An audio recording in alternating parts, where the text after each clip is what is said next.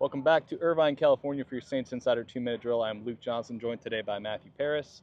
Matt, uh, actually, the news started before we even came out today. Uh, Pete Werner signed a three year contract extension with the team. What are your thoughts on that? Yeah, I thought it was a deal that made sense for both sides. I, you know, it pays Pete Werner top of the line linebacker money or middle of the pack, and this is a deal to lock a good young player under a contract for the Saints. Three years, very manageable, um, but I, think it's also a reflection partly of the training camp that he's had. He's come in really good shape, has kind of responded to the challenges that the Saints have provided by signing Willie Gay, some competition for him.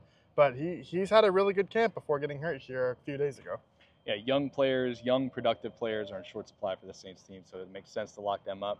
All right, getting into what we saw at practice today, uh, a lot of competitive stuff. Uh, kind of a shorter practice, just chock full of, of team drills. So, look, I, I think the two minute stuff is kind of where we have to Yeah. lead at the end. What do you think? Yeah, I thought it was real, real sloppy for the first team. You know, Derek Carr even seemed a little frustrated at some point, telling teammates they have to be better than that. But, you know, it was, for whatever disappointment was there, that the second and third units, particularly that Jake Haener throw with the third team, uh, really impressive. Yeah, Jake Haener hitting Samson Nacua for a touchdown to close out the two minute. Uh, and then both Jake Haener and Spencer Rattler also hit the two point conversion following that. Really impressive stuff from those guys. I thought the Saints pass rush in the first team was really making life difficult on the first team. Uh, Chase Young, Carl Granderson both getting after Derek Carr.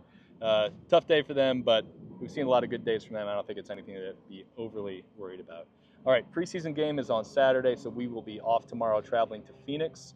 Uh, we will have all the updates for you over at NOLA.com. Check those out. We'll see if maybe there's a Justin Simmons bit of news coming out. We don't know. Uh, he left from uh, from Southern California this morning, according to Dennis Allen. No deal yet, but maybe something soon. So keep it locked with us over there at NOLA.com, and we will see y'all later.